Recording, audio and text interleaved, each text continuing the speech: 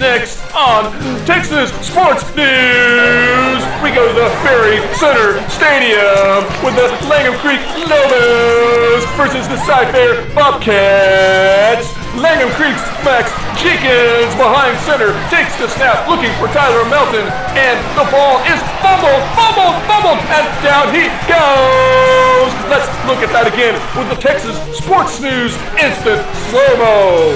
The ball is snapped and he fumbles the ball and down he goes. Now let's look at some exciting footage of Sam McGuffie running 95 yards down the field. All right, this next clip is Sam McGuffie jumping over another play here.